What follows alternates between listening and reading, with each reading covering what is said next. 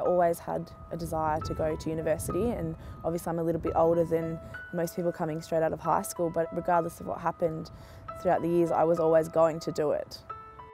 Having a young family myself, I want to be involved in early intervention and early change for young children.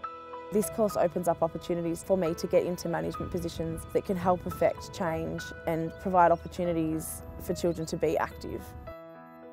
Previously when I had looked at courses that I wanted to do, they were all in Melbourne or somewhere where I would need to relocate my family.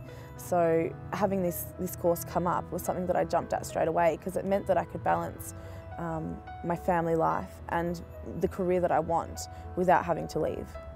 It's been challenging balancing the family and the kids, but um, really fulfilling that I feel a real sense of achievement. My children get to see me doing this because I have a dream.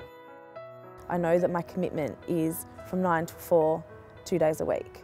So it's very easy to organise childcare, um, you know, prep meals early, all the things that a mum is required to do and still have the time to do the assignments and do the study. My future now is exciting. I have so many opportunities with this course to go in varying directions.